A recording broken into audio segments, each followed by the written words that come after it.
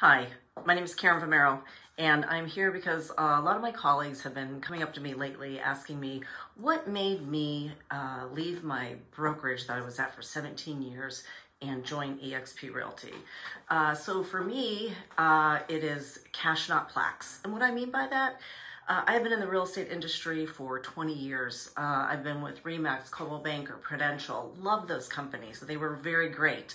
But EXP, when I saw the business model, gave me an opportunity to build wealth, uh, generational wealth. And what I mean by that is I have a closet full of plaques over the last 20 years uh, for the same production that I'm doing now at EXP.